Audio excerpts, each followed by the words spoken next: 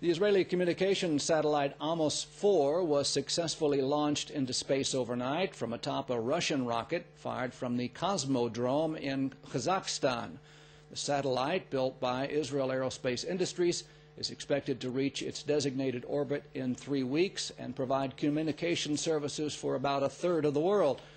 IBA's Aryeh O'Sullivan was at the Amos 4 control center today, and he files this report. It is the largest and most advanced communications satellite ever built in Israel. The Amos 4 lifted off from the Baikonur Cosmodrome in Kazakhstan at exactly 55 minutes before midnight. The last launch from a Russian rocket a few weeks ago failed, and operators at the control station in Yehud waited with bated breath during the launch. It's a mixture of apprehension and excitement. We're going for the launch. The last one failed. You've invested years and hundreds of millions of dollars into building this.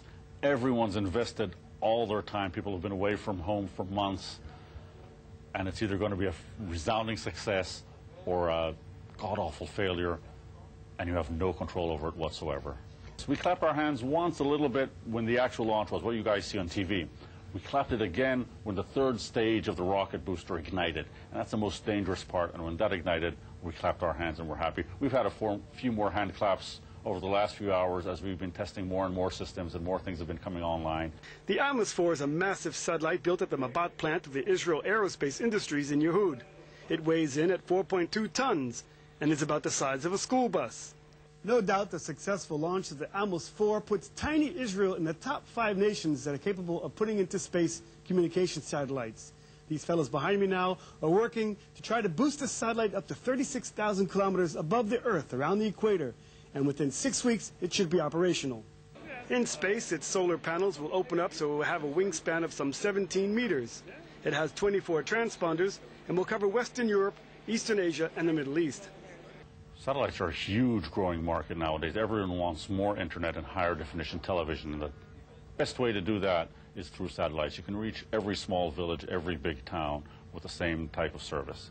And it's very reliable service. So satellites are growing very nicely over the last few years.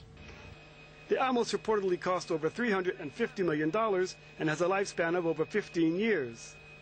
It's going to be for commercial use. It's going to give televisions, um, point-to-point communications, a lot of broadband internet is becoming a huge market. And when you want to reach faraway places that don't have fiber optics, this is the cheapest and the best way to go. It's extremely reliable. So many places prefer using satellite communications rather than cellular communications, for example, and we all know that doesn't always work well. Satellites very rarely fail.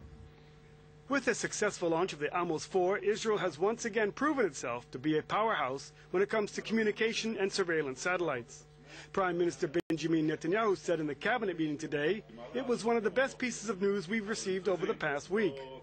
Israel is a first-class satellite manufacturer. Our observation satellites are amongst the best in the world. Our communication satellites are excellent, and Amos 4 has brought us into the big league of communication satellites. So we're very, very proud of this achievement. There are very few countries in the world that can make satellites of this class. From IAI, this is Aryeh O'Sullivan for IBA News.